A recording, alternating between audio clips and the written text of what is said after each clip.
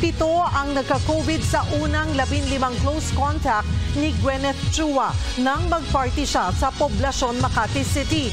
Sa labing siyam naman niyang secondary close contact, isa ang nagka-COVID. Itinuturing ng super spreader event ang paglabag ni poblasyon girls sa quarantine protocols. Ako, ito lang ang komento ko ha.